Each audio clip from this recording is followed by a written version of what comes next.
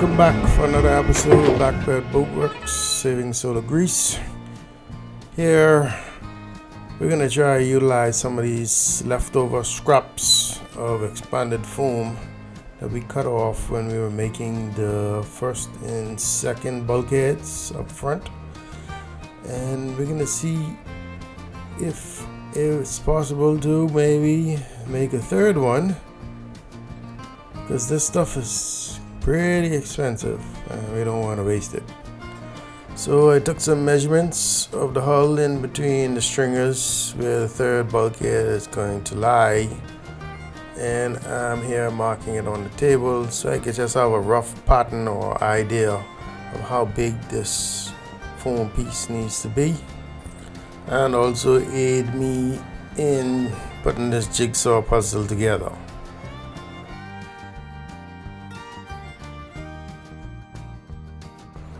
Yeah, we're looking at $200 for a one gallon kit, which consists of one gallon of part A and one gallon of part B. And in making this foam board, we use just a little over a gallon. So yeah, we got over $100 invested in this foam and we want to use it.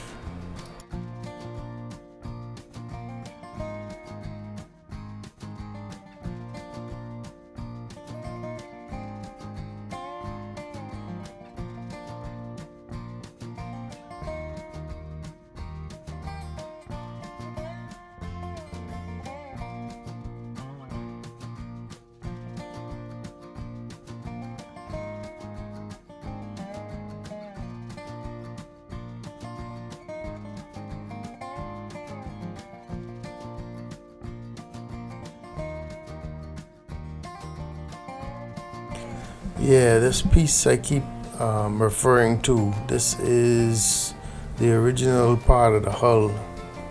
Um, the only part of the hull that gave it any structural support between the stringers. And this was positioned um, just stern of the limber holes in the middle of the stringers and you can see how small it is. So we're trying to fit it and maximize the height of the new one while also making sure it's not too high because where this one is positioned it sits right underneath the step down as you enter the covered area of the hard top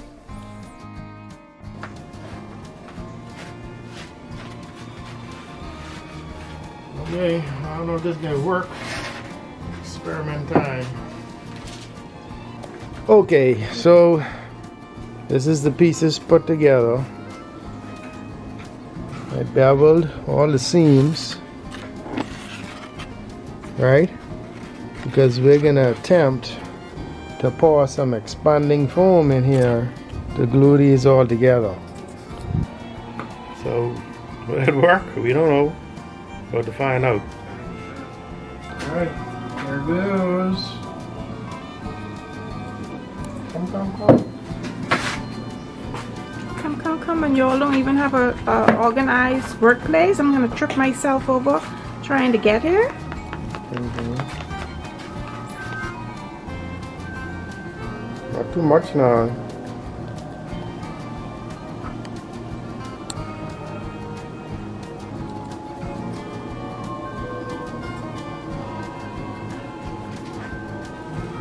Okay.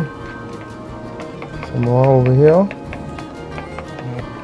So how long does this take to expand, please? Should be expanding in a moment's notice. Yeah. Okay. Alright, we pour this in there.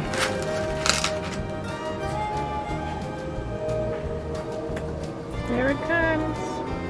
You got weight on it? Mm-hmm. Don't let it get on you now. Poofing up.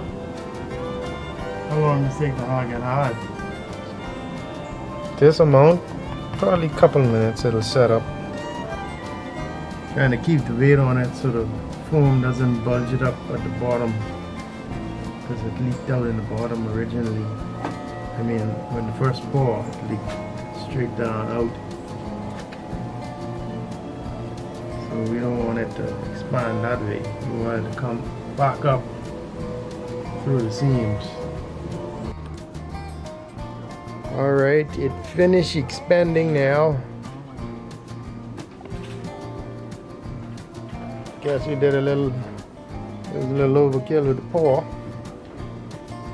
Like I say, we ain't know what we doing. So I just need this to harden up. Then we can start trimming. Alright, so while we're waiting on our foam to harden up, gonna make a quick rough template in the general area where it was, which is just aft of the limber holes.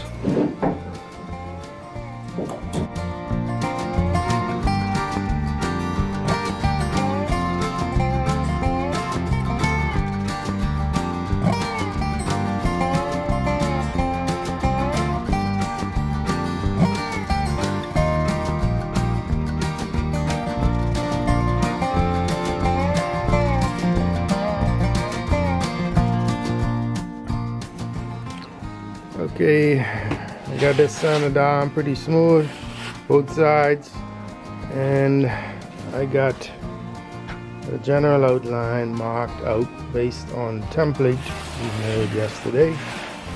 So I'm just gonna cut it out and then we can shape it to the hull.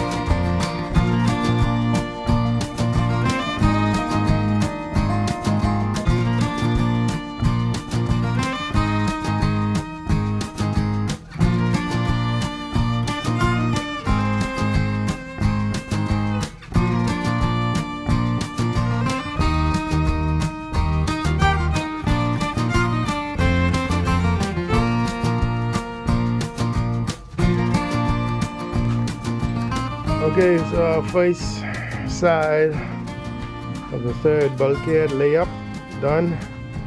We got uh, six layers of 1708 and three layers of three quarter ounce chop mat, laminated in between, and one to finish it off. Yep, one side done. Once it secures, flip it, same thing on the other side. Gotta see, I was skeptical at first, but it was pretty handy.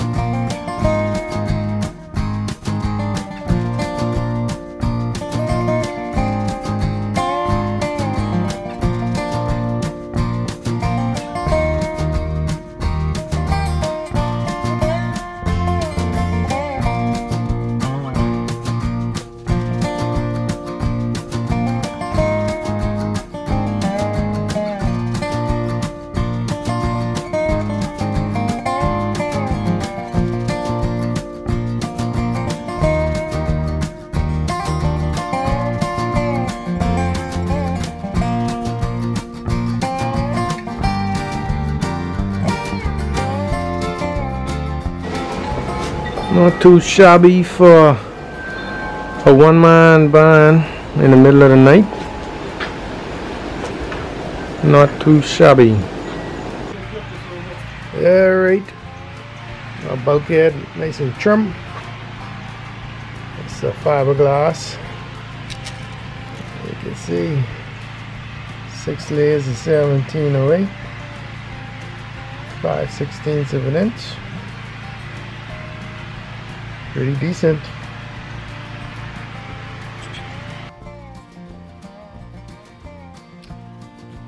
Alright, so this weekend I'm gonna get the third bulkhead in place, so I gotta get some prep done so that we can take care of that ASAP. Get it going.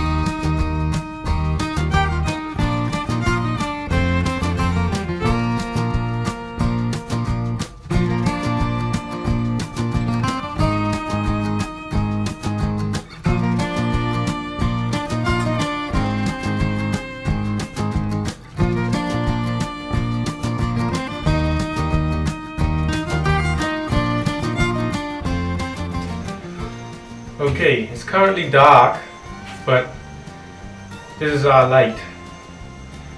And it does a good job as you can see. So I'm gonna get into tapping the side of this bulkhead. I already did all the prep, so we're getting straight into glassing.